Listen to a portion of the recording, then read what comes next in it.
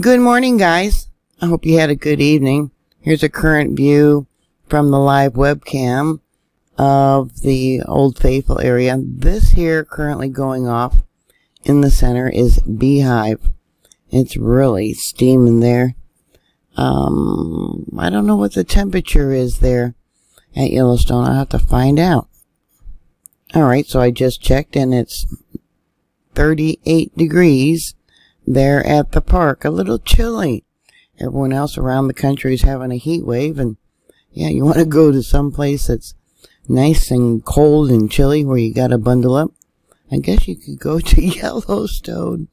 Yeah, at least uh, temporarily. You have uh, a reprieve from the heat.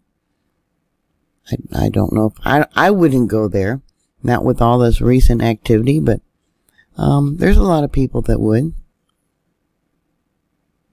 And they're zooming in a little bit closer.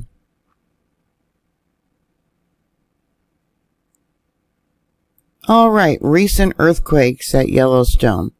Uh, we got one here at 11, 11, um, and maybe about 10 seconds universal time. It's currently 8.04 a.m. Central Daylight Time.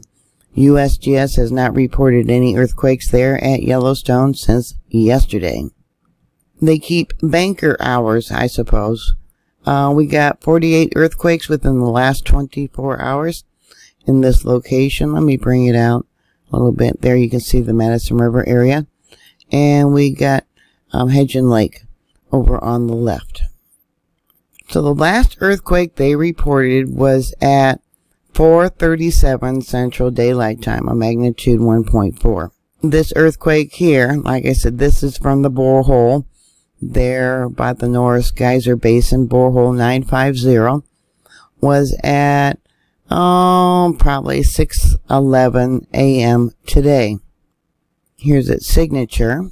That was a magnitude 2 point, let me bring this down so you can see it, 2.12. In my last video, I had, had posted how people had said they can't see that down there at the bottom where it says MD. But evidently, if you watch my videos on your television, maybe through your Fire Stick or whatever, um, I did get a reply from one fellow. Thank you very much. He said he could see that. So 2.12 at 11:11 a.m. Central Daylight Time. There's a little tiny dinky one here marked in red. Um, yeah, we got harmonic and volcanic tremors. I'm not going to do that one. It's just too small. But then we got another one um, at 611 Universal Time. This next one, this smaller one, that is a magnitude 1.8. And we'll look at the spectrogram right there. And then we got another one at 514 and about 25 seconds universal time. That would be uh, 12:37 a.m. Central Daylight Time, and that comes in as a magnitude 2.07. So 12:14 a.m. Central Daylight Time, and that's the spectrogram, and there's its signature between 1 and 10 hertz, so that's definitely a volcanic and harmonic tremor. Alright, the next one marked in red. Uh, okay, same thing with 1 to 10 hertz. There's its signature at uh, 2137. I'll move this up in a second. That one there is a magnitude 1.83. Alright, there's the signature and there's the spectrogram. Now USGS, that is the last one they reported. They said it was a magnitude 1.4. Just another example how it's been downgraded. Now I wanted to take a look at the depth. They're still all about uh, 7 to 8 kilometers in depth. Well, that one's 6. That one's 6.6. 6.4. That one's shallower. Um, yeah, magnitude 0.0. It's not even a minus. Well, there's a minus there. The minus means it's 100 points below a magnitude 1. And yeah, so that's what that means. Now this one, a minus 0.5 would be 500 points below a magnitude um, 1.0. Just thought I'd pass that little bit of information along with you. I have to laugh. I suppose it is uh, USGS trying to reassure people that they are doing their job, even though there is multiple earthquakes they don't report. All right, the next one marked in red. They have this as a magnitude 1.5. How much you want to bet that it isn't? Let's find out. Nope, it's a magnitude 1.8. Let me bring this down so you can see it. Uh, 1.82. So they fibbed about, about the same as the last one. And again, there's its spectrogram. We got some other little ones, but I'm going to do the red ones marked in red. Okay, um, 1822 Universal. USGS claims that was uh, magnitude 1.4, the signature. All right, let's see how big it was. All right, they told the truth about that one. That one came in as a magnitude 1.42. And the next one. Let's look at the spectrogram. That one shook for quite a while. Now they have it here, or I have it here as a 2.02 but USGS has it as a magnitude 2.2 right there. So they had it higher than what I come up with. So let's take a look at some of these other small ones. We got one there. Um, we got one there. Let me bring this down. This is what it was showing when I pulled the files. Another small one there. I'll, let me show you something. On the left is the borehole for Norris Geyser Basin, borehole 950. In the center is Little West Thumb. This one right here, uh, marked in red, shows up across. This one marked in red shows up across. That one they're not reporting yet. On the right is Lake Butte. Alright, we got a large one here on Lake Butte. Um, 2353. Let's see. That one they're not reporting, but it shows up here also at Little West Thumb and at the borehole for Yellowstone Lake, yet they decided not to report it. So here's it at Lake Butte. Let's look at the spectrogram. We got two quakes it looks like there. And it looks like a magnitude 1.46. I didn't take in the uh, second little one. See that 1.46. It might be larger, but anyways, the second one comes in as a magnitude 1.33. Alright, one of the newer ones at 1234 and about 50 seconds universal time. That would be today at um, 7.34 a.m. Central Daylight Time. Let's look at the uh, spectrogram, just a little blip of heat there. That comes in as a magnitude 1.69. Let's make the signature larger. Yeah, harmonic tremors. Look at that. Um, let's take a look at the, uh, yeah, one, one to ten hertz. Yeah. Volcanic um, magma you know, on the move. Now again, this is uh, Lake Butte. And then we got the blobs of magma. Let me go back. Blobs of magma coming in. And there's a small earthquake right here. Again, just some, yeah, see how the line of melt? It's not way up like it was yesterday. Let me go here and look at it.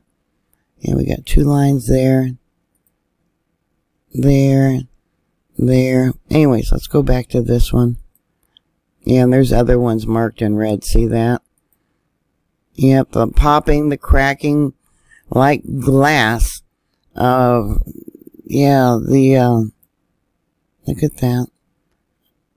of the ground. It, this is why within the park, within the caldera itself, okay, um, it wouldn't take a large earthquake for an eruption because within the park, within the, the area of the caldera rim, the ground is so brittle. Whereas outside the park, say like Hebgen Lake, um, yeah, they can have a larger earthquake without an eruption. That is why. This area is so much more brittle. Alright, let's go back to this. Am I on the wrong line? What's going on? Okay, where do we take... yeah, because there's so much stuff going on. Alright, magnitude 1.57, but if I change it to a little bit closer, take out some of this, it would be a magnitude 1.40. So you got to figure where it started and where it ended. I'm sure it's larger than a 1.40, but with all the activity, it's hard to pick out. I mean, look at this mess. Yeah, see harmonic tremors. Oh, I guess I could go right, maybe right there. And I'll show you how I do this. And where did it end? Right there. Okay, then we come up. Oh, that's. Hold on, I did it wrong.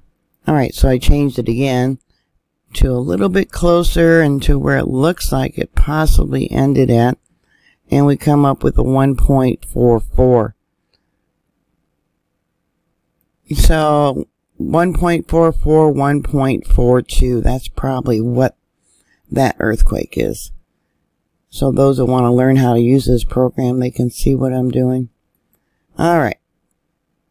We got another one at 11.15, but that actually looks like two that blended to one. Let's look at the spectrogram. Yeah. I'm not going to try and do that one. Alright, so let's go back to Little West Thumb. Um, we got one marked in red. I'll make this one bigger. Right there. Um, 918, a quick little shaker. So that would be at 4.18 a.m. today.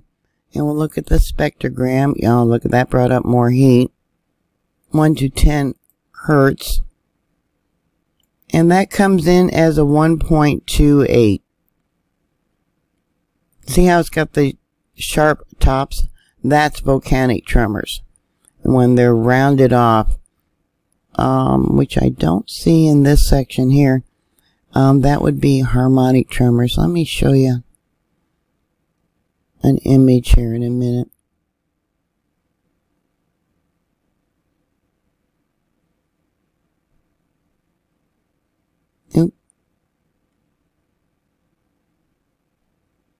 Why did it change on me? Hold on. There we go. Man went off the line.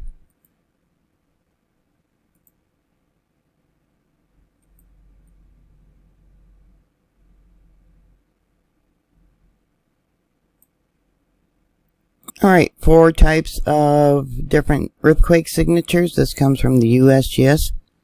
Um, tectonic-like earthquakes, shallow volcanic earthquakes, surface events. See how it trails up and leads up to a larger. And then harmo um, harmonic tremors. I'll make that bigger for you. Okay, tectonic, volcanic, surface events, and then harmonic tremors. Alright, 514 in about 30 seconds, universal time. 1237 uh, Central Daylight Time AM. That was this morning. We'll look at the signature right there. Let's make that bigger for you.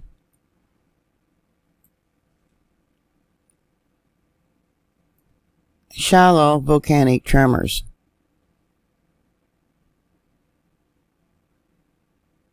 With a mixture down here at the end of harmonic tremors. All right, and they're just starting to report today's earthquakes. They're saying that um, is a magnitude 2.2. But from the borehole at Norris, and I come up with a magnitude, hold on, uh, 2.21. So they were not fibbing about that one. Let me bring it back up. This earthquake at 1111, they are now saying that this one is a 1.7.